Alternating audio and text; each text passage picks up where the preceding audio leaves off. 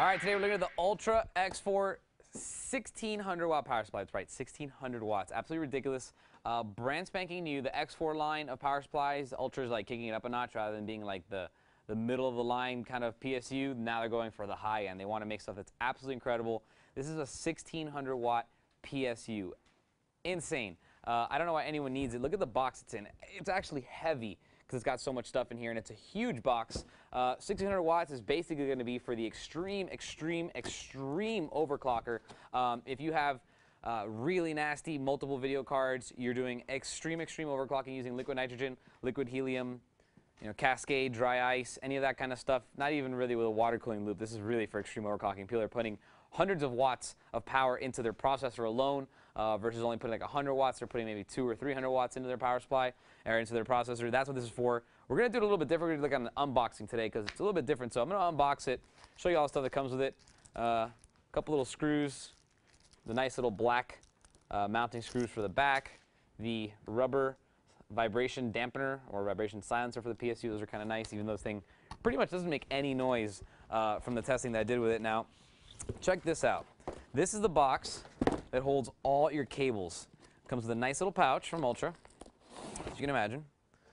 And this is going to hold all your modular cables. Now, again, uh, most extreme power supplies are usually not modular, but this one is, so it's a unique design. Uh, it actually gives you the best of both worlds, gives you all the great power, uh, a single rail design that produces over 100 amps of uh, plus 12 volt current. I mean, it's really impressive. Uh, and then, of course, it is modular too, so you have a clean case design now. It's really important to note that this case is not ATX.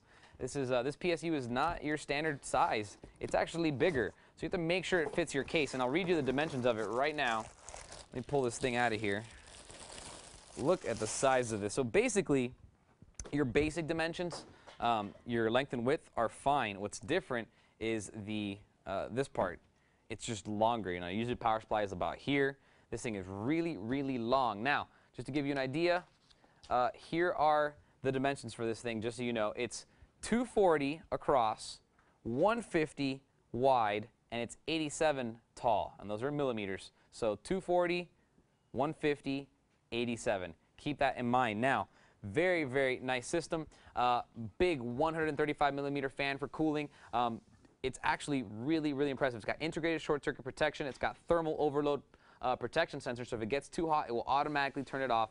It is 80 plus certified at the bronze level, which for a 1600 watt power supply uh, is absolutely incredible. Like I mentioned, uh, it is all modular, so everything, look at that. Look at the amount of plugs that it has because it's just ridiculous. It's got a 24 pin, an 8 pin. It's got nine Molexes. It's got 11 SATAs. It's got two floppy drives. It's got six 6-pin PCI Express, so triple SLI, no problem, plus an additional three 8-pin PCI Expresses, so you can do pretty much triple SLI with anything. This is all in the box. Very, very, very impressive. Uh, and then on top of all of that, it does have an additional fan for cooling um, on the back. So it's got an exhaust fan and an intake fan. Um, but ironically enough, it's really, really, really quiet until you get to about a thousand watts of continuous usage is when the fan starts to kick up above like you know like 1500 RPM. Before that, it's nearly silent. You cannot hear it. A 135 um, millimeter fan like this is going to spin really slowly usually under 1,000 RPMs. It's going to you know, move a lot of volume of air, a lot of CFM.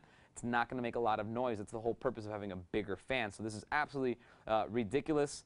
Uh, very, very, very powerful. It's literally a single rail. Uh, there is not a multiple rail system on here. It's modular. 117 amps of plus 12 volt current can go through this. So that means you can power uh, just about anything. Three GTX 295s. If you could do that six-way SLI, it would work. Um, basically you just power whatever you want though. Um, if you want to do it, this thing will do it extremely efficiently as well. The fact that it's bronze certified is pretty awesome. So uh, real quick, I just want to show you all the cables. Uh, and there's a big note here to users. Okay, now this is your regular cable. Here's the thing. This thing will do 1200 watts plugged into a regular outlet.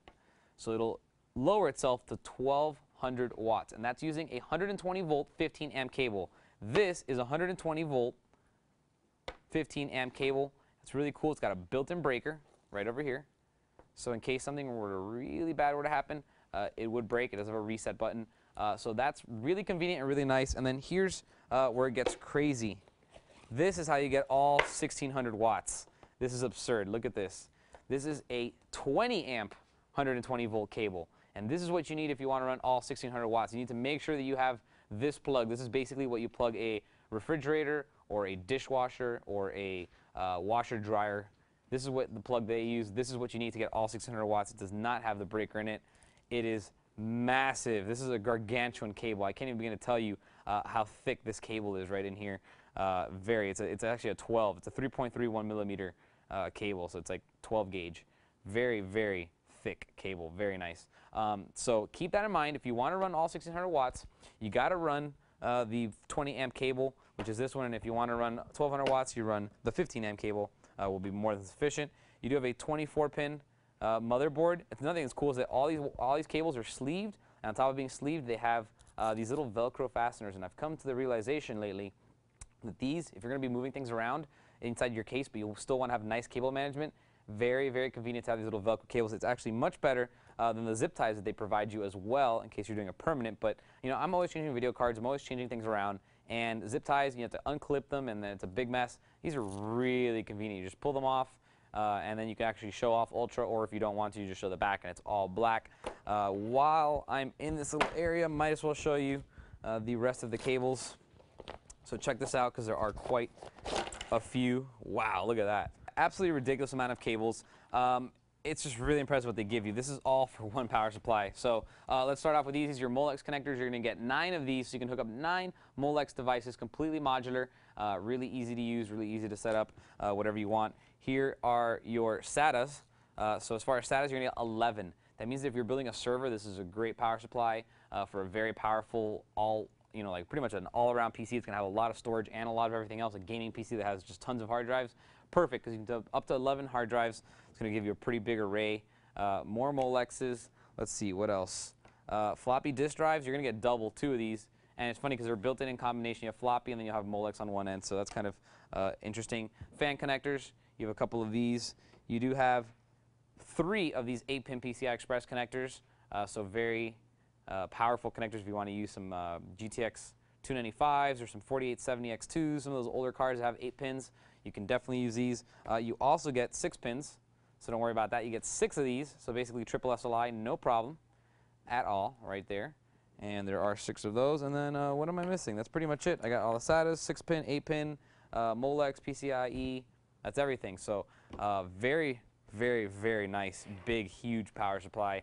Very good extreme overclockers. The people that are using the Thermaltake 1200 watt power supplies uh, for their extreme overclocking.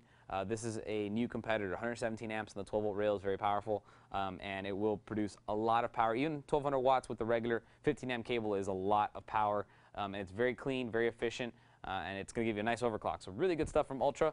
It's the X4 1600 watt. If you have any questions on it, email me, and I'll see you guys next time. For more information on the Ultra X4 1600 watt power supply, go to computer.tv and type in Ultra X4 1600W. For Computer TV, I'm Albert.